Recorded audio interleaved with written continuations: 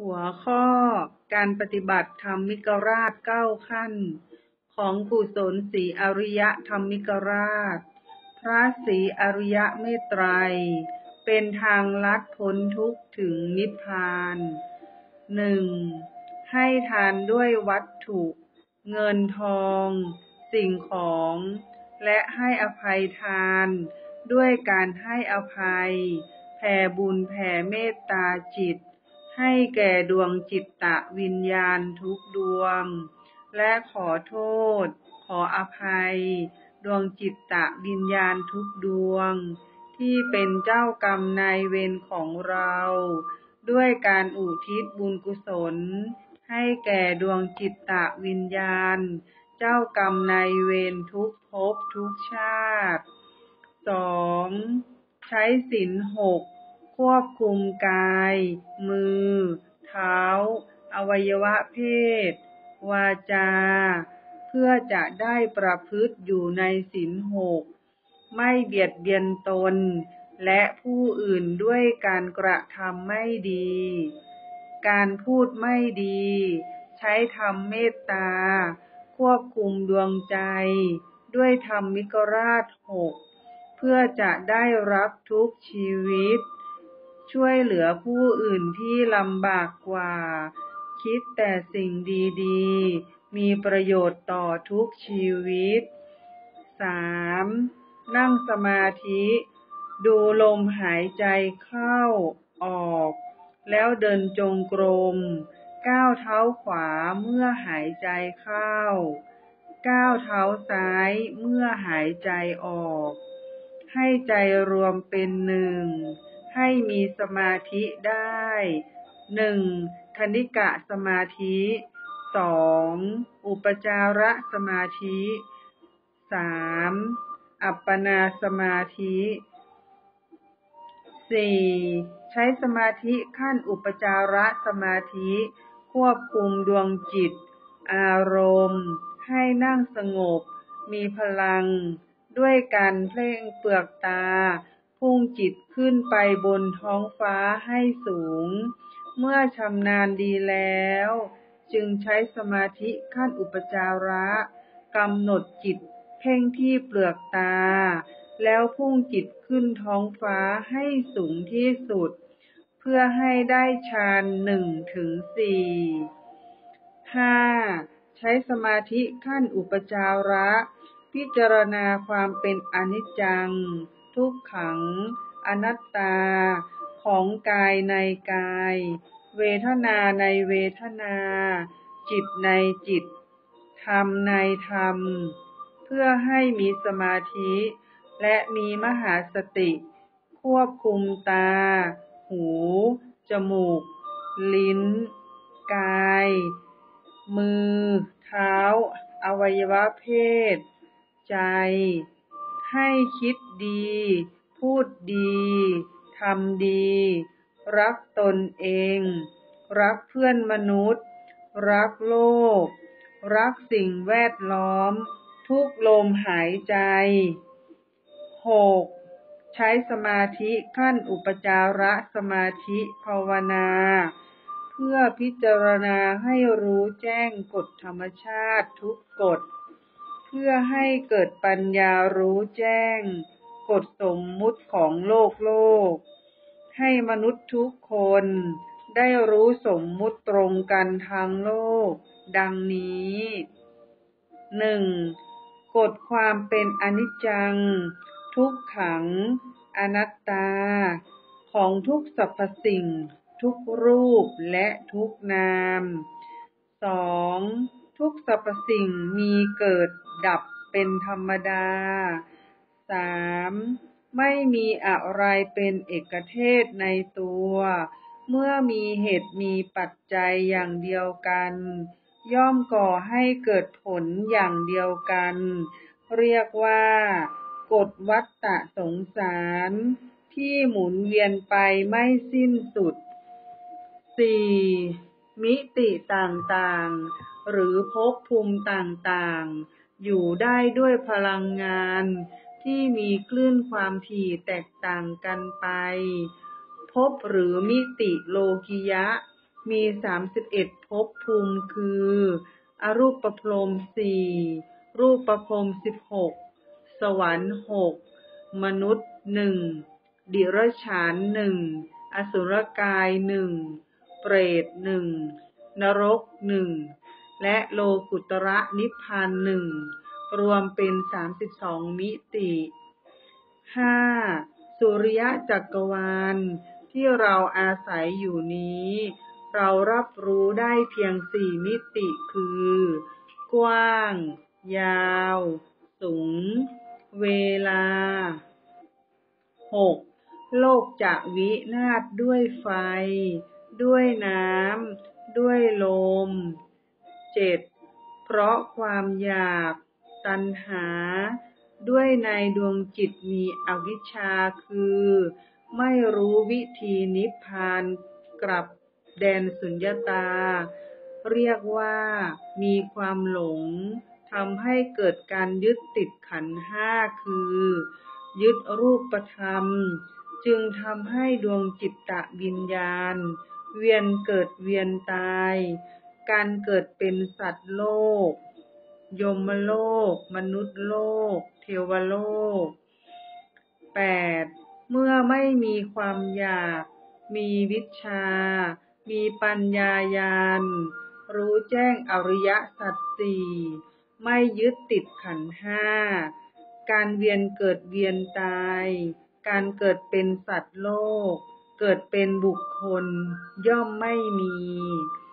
9. วิชาวิทยาศาสตร์ เป็นความรู้ที่มนุษย์ใช้เป็นเครื่องมือสร้างสิ่งอำนวยความสะดวก มาสนองความต้องการ ตัณหา และใช้สนองกิเลส อันเกิดจากความโลภ โกรธ หลง อันไม่มีขอบเขตจำกัดของใจมนุษย์ 10. วิชาศาสนา เช่น วิชาพุทธศาสตร์ของพุทธศาสนา มุ่งลดเหตุแห่งทุกข์คือ ลดตัณหา ดับตัณหา ดับกิเลส หมดกิเลส หมดตัณหา จึงทำให้ดวงจิตไม่ยึดติดขันห้า เมื่อมนุษย์มีความพอเพียงพอดี ลดความต้องการ ลดความโลภ ลดความโกรธ ลดความหลง คลายการยึดติดขันห้าได้ มนุษย์ก็ไม่จำเป็นต้องดิ้นรนหาอะไร มาสนองความต้องการ สนองตัณหา อันไม่จำกัดนั้นอีก จึงเป็นวิธีดับทุกข์ที่แท้จริง 11. เหตุที่มนุษย์ลืมอดีตชาติ เพราะดวงจิตหยาบ และดวงจิตตะวิญญาณ ถูกกิเลสที่เป็นคลื่นประจุ แม่เหล็กไฟฟ้าลบ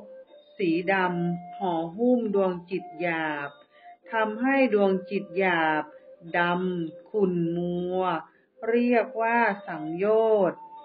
และถูกกิเลสห้าประการ ที่เรียกว่า นิวรณ์ห้าได้แก่หนึ่ง ความพอใจในกรรมคุณห้ารูปรส กลิ่น เสียง สัมผัส 2. ความโกรธ 3. ความง่วงนอนซึมเศร้า 4. ความคิดฟุ้งซ่าน 5. ความลังเลสงสัยห่อหุ้มดวงจิตหยาบ และดวงจิตหยาบ ถูกตันหา ถูกอุปาทาน และถูกอวิชชาห่อหุ้ม ครอบงำดวงจิตตะวิญญาณอย่างหนาแน่น 12. เพราะมีตัณหา มีกิเลสห่อหุ้มดวงจิตหยาบ จึงทำให้ตัณหาและกิเลสบังตา บังใจ บังปัญญา จึงทำให้มนุษย์กล้าทำทุกอย่าง โดยไม่มีความละอายในการทำความชั่ว ไม่เกรงกลัว ผลของบาปกรรม เรียกเป็นภาษาบาลีว่า ไม่มีหิริ หรือคือไม่ละอายการทำความชั่ว ไม่มีโอตปะคือ ไม่เกรงกลัวต่อบาปกรรมสิบ สัจธรรมอันเป็นความจริง ทุกยุคทุกสมัยคือ เมื่อมนุษย์ไร้ศีลธรรม มีความเห็นผิด ไม่มีปัญญาญาณ รู้แจ้งอริยสัจสี่ไม่มีปัญญา ไม่รู้ดี ไม่รู้ชั่ว ไม่เชื่อเรื่องบาปบุญ คุณโทษทำให้มนุษย์เลือกผู้นำ ได้คนที่ไม่มีศีลธรรม ได้ข้าราชการที่ขาดความซื่อสัตย์ทำให้ลูก ขาดความกตัญญู ไม่เคารพ ไม่เชื่อฟังพ่อแม่ ลูกน้องเอาเปรียบนายจ้าง พี่น้องฆ่ากัน เพื่อแย่งสมบัติ ผู้คนพากันยกย่องคนชั่ว แต่ย่ำยีคนดี ผู้คนพากันเกรงกลัว คนชั่วที่มีอำนาจ คนทั่วไปไม่ประพฤติตนอยู่ในศีลหก ไม่ปฏิบัติธรรมมิกราช มนุษย์โลกจึงต้องถูกทำลาย ด้วยภัยพิบัติร้ายแรง จากดิน น้ำ ไฟ ลม เชื้อโรค และสงครามสิบประการคือหนึ่ง ผู้นำกดขี่รังแกสองจนภัยสามไฟไหม้สี่ฟ้าผ่าห้าแผ่นดินไหวหกลมพายุเจ็ดน้ำท่วมแปดอดอยากยากจนมีหนี้สินมากมายเก้าโรคร้ายสิบ เกิดการคิดขัดแย้งทำสงครามฆ่ากันตายสิบสี่กฎเหตุผล เมื่อเหตุไม่ดี ผลที่ได้จึงไม่ดี เมื่อเหตุดี ผลที่ได้จึงดีสิบห้ากฎแห่งกรรม ทุกคนมีกรรมเป็นของตน ทุกคนมีกรรมเป็นทายาท ทุกคนมีกรรมเป็นเผ่าพันธุ์ เมื่อคิดดี พูดดี ทำดี ได้ดี ได้รางวัลคือบุญ เป็นคลื่นสีขาว ตายดวงจิตตะวิญญาณ ขาวใส มีแสงสว่าง ดวงจิตตะวิญญาณ ได้กลับมาเกิดเป็นมนุษย์ ได้ขึ้นสวรรค์ ได้นิพพาน เมื่อคิดชั่ว พูดชั่ว ทำชั่ว ได้ชั่ว ไม่ดีถูกลงโทษ ได้บาปกรรม เป็นคลื่นแม่เหล็กไฟฟ้าประจุลบ เป็นคลื่นสีดำ ฝังในดวงจิต มีชีวิตทุกทรมาน เจ็บป่วย พิการ ยากจน มีแต่หนี้สิน เมื่อตายดวงจิตตะวิญญาณมืดดำ ตกนรก หรือได้ไปเกิดเป็นเปรต เป็นอสุรกาย เกิดเป็นสัตว์ดิรัจฉานสิบหกกฎบุญหรือกฎกุศล คลื่นบุญเป็นคลื่นแม่เหล็กไฟฟ้าประจุบวก เป็นคลื่นสีขาว ได้จากการคิดดี พูดดี ทำดี จึงทำให้ได้คลื่นพลังงานบุญ เป็นคลื่นพลังงานแม่เหล็กไฟฟ้าประจุบวก มีสีขาวเข้าไปฝังอยู่ในดวงจิตหยาบ หรือถูกนำไปเก็บไว้ที่คลังบุญ ที่ดอกบัวสวรรค์ อยู่บนสวรรค์ อยู่ในอวกาศบนสนามพลังงานของเอกภพ หรือคลื่นบุญถูกนำไปเก็บไว้ที่รอยพระพุทธบาททุกแห่ง 17. กฎบาปหรือกฎบาปกรรม คลื่นบาปเป็นคลื่นแม่เหล็กไฟฟ้าประจุลบ ได้จากการคิดชั่ว พูดชั่ว ทำชั่ว จึงได้เป็นคลื่นพลังงานแม่เหล็กไฟฟ้าประจุลบ หรือเรียกว่า คลื่นบาปกรรม เป็นคลื่นพลังงานแม่เหล็กไฟฟ้าประจุลบ สีเทาดำ เข้าไปฝังอยู่ในดวงจิตหยาบ ของสรรพสัตว์ทุกชนิดที่ชอบเบียดเบียนชีวิต และเบียดเบียนทรัพย์สินผู้อื่น 18. กฎอริยสัจสี่เป็นกฎความจริงของทุกชีวิต ที่เกิดมาในไตรโลกธาตุต้องรับความทุกข์ทรมาน ต้องแก้ความทุกข์ด้วย อริยสัจสี่คือ ทุกข์ สมุทัย นิโรธมรรคแปดสิบเก้ากฎปฏิกิจจสมุปบาท คือกฎขบวนการทำงานของดวงจิตตวิญญาณ มีสิบสองขั้นตอนคือหนึ่งอวิชชาสองสังขารสามวิญญาณสี่นามรูปห้าสลายตนะหกผัสสะเจ็ดเวทนาแปดตัณหาเก้าอุปาทานสิบภพ สิบเอ็ดชาติสิบสองชรามรณะยี่สิบกฎแห่งสภาวะของสรรพสิ่งคือ ดิน น้ำ ไฟ ลม มีสภาวะเป็นของแข็งเหลวก๊าซคลื่นพลังงาน 21. กฎแห่งนามธรรม คือ เวทนา ได้แก่ อารมณ์สุข พอใจ อารมณ์ทุกข์ ไม่พอใจ อารมณ์เฉยเฉย สัญญาคือจำได้ สังขารคือคิดปรุงแต่ง วิญญาณคือตัวรู้ทำให้รู้ทางตา หู จมูก ลิ้น กาย ใจ 22. กฎแห่งรูปธรรมคือ ร่างกายที่ประกอบด้วย ดิน น้ำ ไฟ ลม ช่องว่าง และอากาศธาตุหรือวัตถุธาตุ 23. กฎแห่งชีวิต คือ ทุกชีวิตประกอบด้วย รูปธรรมและนามธรรม หรือเรียกว่าขันห้า ทุกชีวิตต้องเกิด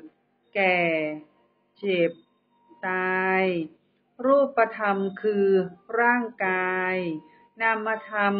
เป็นคลื่นพลังงาน คือ เวทนา สัญญา สังขาร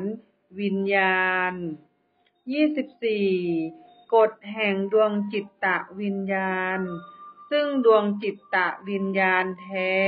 ดั้งเดิมนั้น มีความบริสุทธิ์เป็นประพัดสอนมีสภาวะสุญญตา หรือนิพพาน คือ ดวงจิตตะวิญญาณนั้นบริสุทธิ์จากกิเลส บริสุทธิ์จากตัณหา แต่เมื่อดวงจิตตะวิญญาณที่บริสุทธิ์นำมาทำ เมื่อลงมาสวมกายมนุษย์หรือสัตว์ รูปธรรม เมื่อนานวันเข้าจึงทำให้เกิดคลื่นบาป เกิดคลื่นบุญ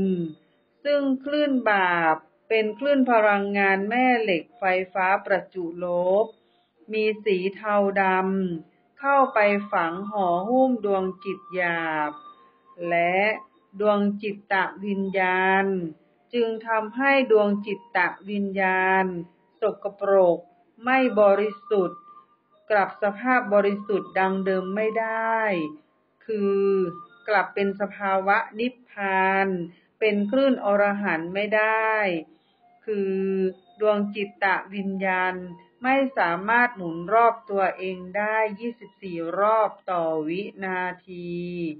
และสั่นสะเทือนไม่ได้พลังงาน 2,400 เมกะเฮิรตซ์ ด้วยดวงจิตหยาบ มีน้ำหนักมากเกินพิกัด เพราะมีกิเลสคือ มีคลื่นแม่เหล็กไฟฟ้าประจุลบ ได้แก่ ความโลภ ความโกรธ ความหลง คือความโง่ หรืออวิชชา เข้าห่อหุ้มดวงจิตหยาบ และดวงจิตตะวิญญาณ ไว้หนาแน่น ซึ่งดวงจิตตะวิญญาณ ทุกดวงได้ถูกบันทึกด้วยคลื่นบุญ มีสีขาว คลื่นบาปกรรม มีสีเทาดำ มีรหัสกำหนดอายุ มีรหัสกำหนดความจน ความรวย ไว้ในดวงจิตตะวิญญาณ ซึ่งรหัสกรรมเหล่านี้เกิดจากคลื่นกรรมดีกรรมชั่ว ที่มนุษย์คนนั้นๆได้ประพฤติทางกายทำวาจา พูด ใจ คิด สั่งสมรวมมาทุกภพทุกชาติ ไว้ในดวงจิตตะวิญญาณ 25. กฎแห่งพืชผล ปลูกพืชอะไร ย่อมได้ผลเช่นนั้น ปลูกมะม่วง ได้ผลเป็นลูกมะม่วง ปลูกมะพร้าว ได้ผลเป็นลูกมะพร้าว 26. กฎแห่งความดี ความชั่ว โลกนี้มีความดีกับความชั่วเท่านั้น ความดีคือ รักได้ให้เป็นไม่ก้าวล่วงตนเอง และไม่ก้าวล่วงผู้อื่น อดทนอดกลั้นให้อภัย คือประพฤติตนอยู่ในศีลหกปฏิบัติตนอยู่ในกรอบธรรมิกราชหกประการ ความชั่วคือ รักไม่ได้ ให้ไม่เป็นก้าวล่วงทำร้ายตนเอง และก้าวล่วงทำร้ายผู้อื่น ไม่อดทน ไม่อดกลั้น ไม่ให้อภัยใคร ประพฤติผิดศีลหก ไม่ปฏิบัติตนอยู่ในกรอบธรรมิกราชหก 27. กฎแห่งโลกธรรมแปดคือ เมื่อมีลาบต้องมีเสื่อมลาบ เมื่อมียศต้องมีเสื่อมยศ เมื่อมีสุข ต้องมีทุกข์ เมื่อมีการสรรเสริญ ต้องมีการนินทา เป็นของกู้โลก เป็นเรื่องของโลกโลก 7. ภาวนาพิจารณาศึกษา ให้รู้แจ้งเรื่องอริยสัจสี่รู้ทุกข์ รู้เหตุแห่งทุกข์ รู้การดับทุกข์ รู้ทาง รู้วิธีการดับทุกข์แปดประการ เพื่อดับทุกข์ถึงนิพพาน เมื่อตายดวงจิตตะวิญญาณ ได้กลับแดนสุญญตา มีความสุขนิรันดร์ 8. ภาวนาพิจารณาศึกษา ให้รู้แจ้งขบวนการทำงานของดวงจิต จิตหยาบ และดวงจิตตะวิญญาณ หรือดวงใจ 9. ภาวนา พิจารณาศึกษา ให้รู้แจ้งวิธีคิดละสังโยชน์สิบ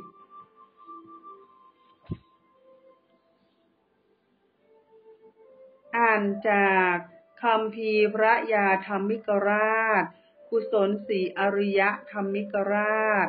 เรื่องธรรมิกราชหกวิชาวิทยาศาสตร์ทางจิตตะวิญญาณ หน้า29 30 31 32และ33ลูกขอน้อมกราบ ท่านพ่อพญาธรรม มิกราชกุศลศิอริยะ สาธุ สาธุ สาธุ เจ้าค่ะ